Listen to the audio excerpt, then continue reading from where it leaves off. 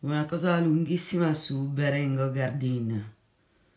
Dal cosmo elettrico la guardiamo andare io, la libreria soffusa in luce periodica e il mondo che non ci vuole.